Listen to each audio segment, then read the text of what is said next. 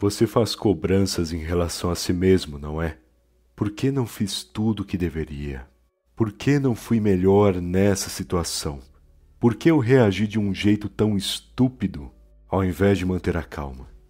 Esses pensamentos, eles martelam a nossa cabeça, nos perturbando, fazendo com que a gente se sinta péssimo e pior, piorando mais ainda o comportamento que tanto sentimos vergonha em ter.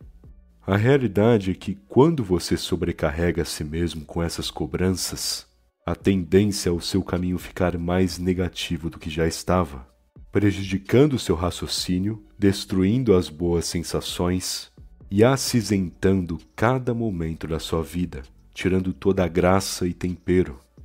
Você costuma se sentir assim, fraco, deprimido, solitário e quebrado por dentro? A ponto de alimentar um vazio existencial?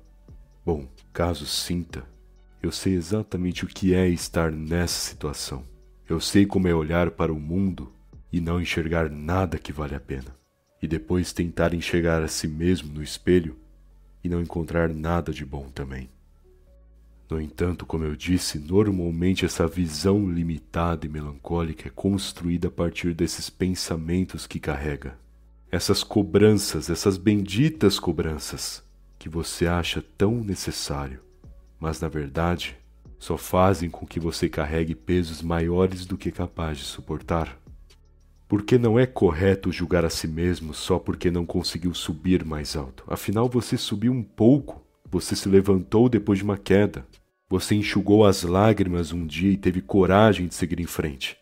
Então por que trata tão mal a si mesmo quando na verdade deveria ser grato por cada pequeno movimento que te fez avançar um pouco. E daí que você não ganhou tudo o que queria. Pelo menos você ganhou um pouco e no outro dia pode tentar ganhar mais ao invés de ficar emburrado. E daí também que hoje você não se sentiu tão bem e não conseguiu fazer tudo o que deveria. Você é um ser humano, não um robô. E é óbvio que nem todo dia estará no 100%. Às vezes não alcançará metade do seu potencial. Acontece.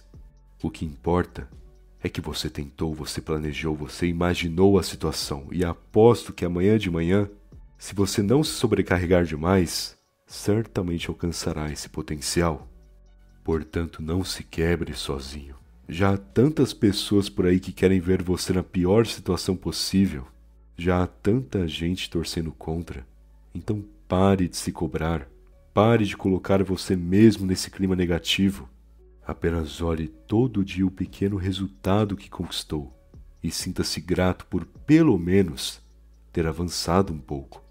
E mesmo que não conseguiu avançar, seja grato por ter terminado aquele dia, pois as suas limitações atuais provam que você é o que é. Ser um ser humano será uma limitação sempre. Mas se todos os dias você fizer um pouco, pelo menos um pouquinho, já será um dia digno.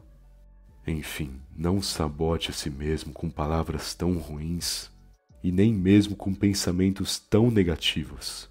Olhe sempre para o progresso do dia, mesmo que seja mínimo.